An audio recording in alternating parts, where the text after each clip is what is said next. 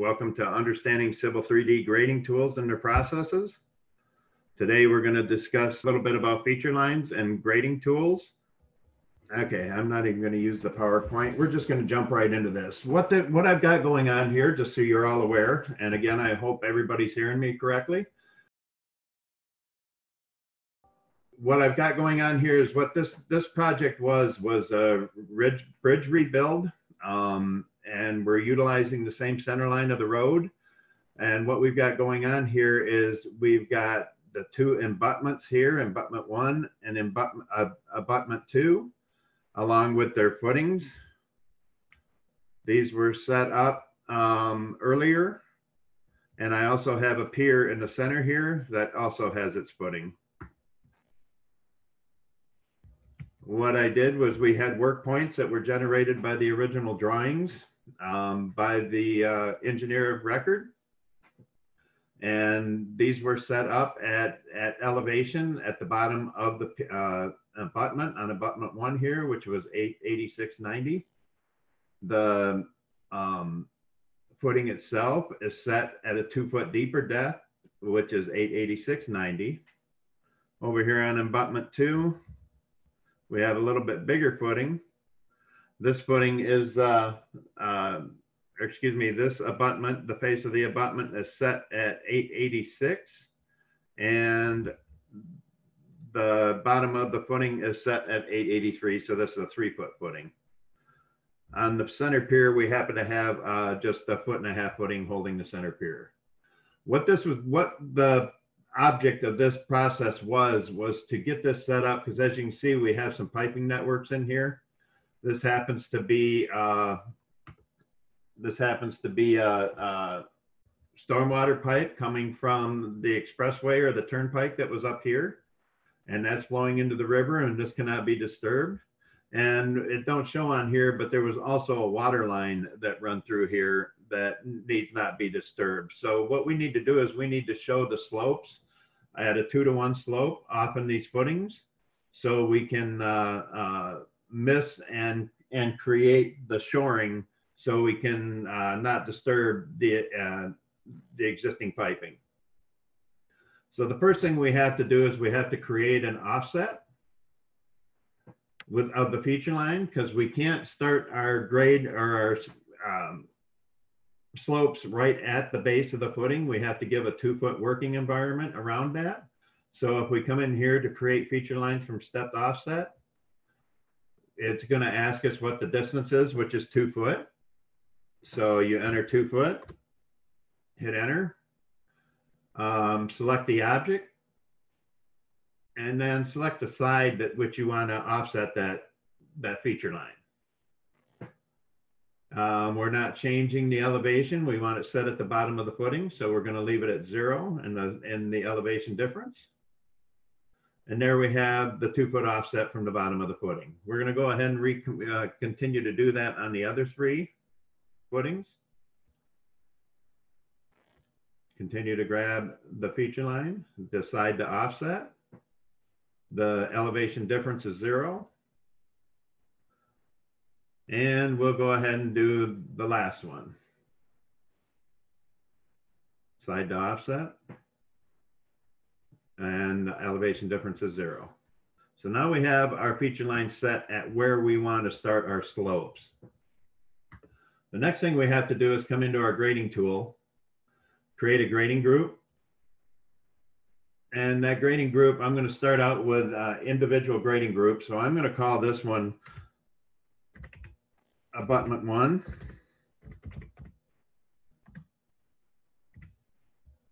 I want to have an automatic surface creation. We'll use the group name for that. I'm going to put this in a one in five design, contours.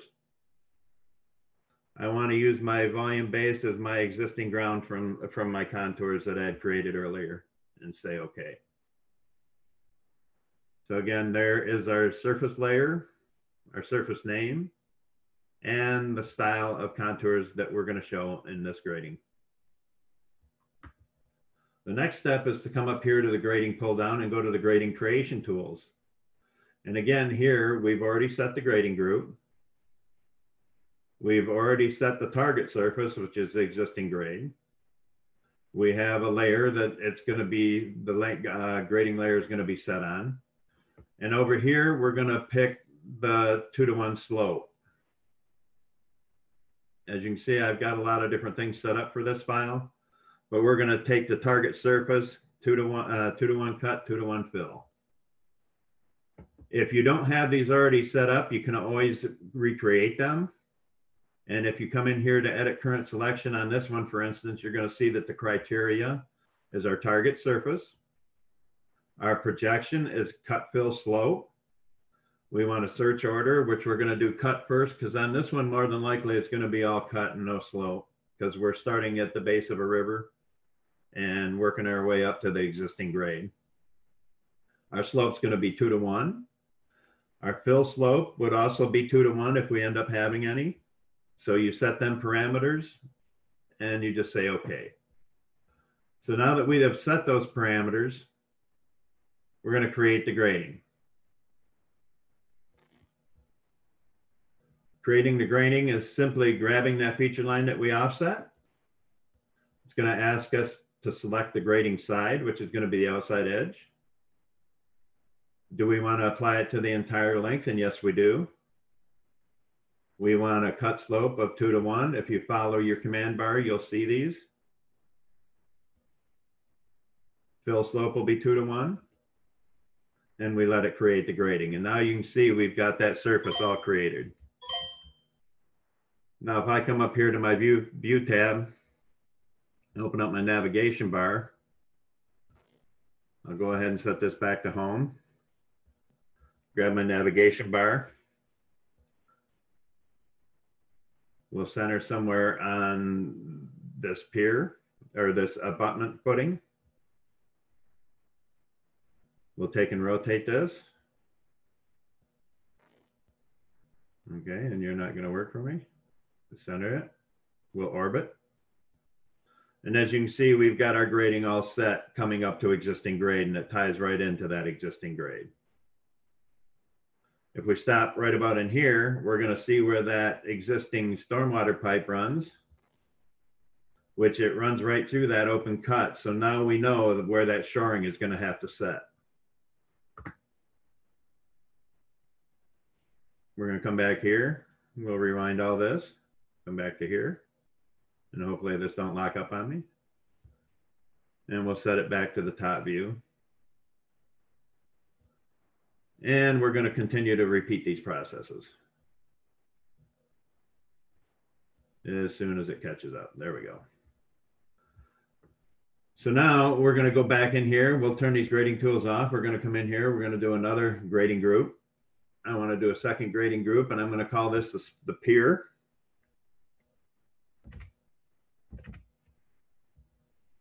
Again, we want to have an automatic surface generation. We're going to use the same one in five design. The volume base surface. Say okay. Now, obviously the pier isn't going to go up as far, but we've got our surface creation already set up. We say okay. Now we'll come back up here and get our grading tools back out. We want to do the two to one slope. Two to one cut, two to one fill create grading. We'll grab that outside line, the offset on the grading side. And yes, we want the entire length, hit enter, two to one, two to one. And there we have our cut for our, our pier. Now we're gonna have to do this one more time because I want these all on separate surfaces and separate gradings. So I'm going to come in here again. I'm going to set a new grading group. And I'm going to call this one abutment two. We'll have the automatic surface creation. We'll do it in the one and five design, the volume base. We'll say okay. We have a one in five design again. We have our surface creation already. We say okay. Now we're gonna come in here and we're gonna create our grading all over again. We got abutment two. We've got our existing surface. We want to hit this with a two and one slope, two and one cut, two and one fill. And then again, create grading. Grab the outside edge, do the offset. We'll apply this to the entire length. Two to one, two to one cut slope, two to one fill slope.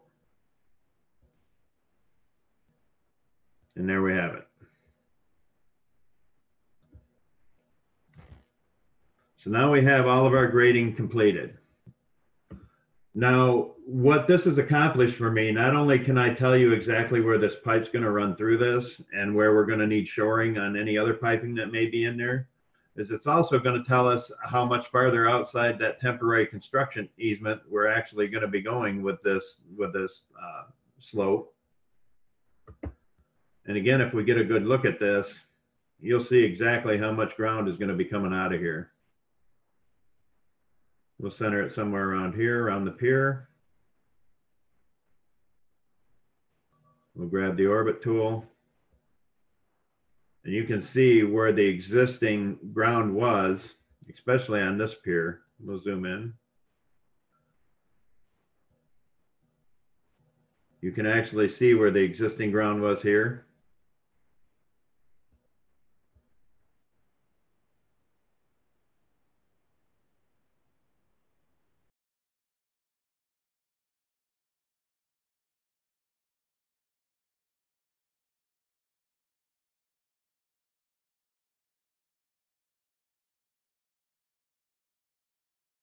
Trucks could haul it out of there. This was a very interesting job. I really enjoyed this job. Not only did it allow me to do that, it allowed me to have, uh, uh, to set up the points. Let's go back in here to the top view again. It allowed me to get all the points set up as soon as it catches up if we come in here and thaw that all out, you'll see all the points.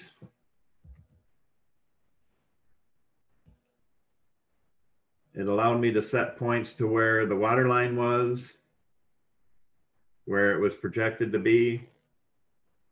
And also I had points set up in here to where I could have um, them lay out where the edge of the cut was. So top of slope abutment one I had all the points with northings and eastings, so the surveyors could lay all them lines out. Abutment two, top of slope. Had me, I was able to set all the water line points where the storm drain was setting. And then we also created the causeway and set points to the to that causeway. So we knew exactly where that had to be built to get around all this cut and fill. Again, I'm sorry I was so late getting in here today. Um, I do have time for a lot of questions.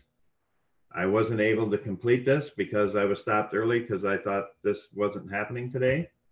So I would like to uh, ask, uh, reach out and see if anybody has any questions at this time. But again, thank you all very much and I appreciate your time you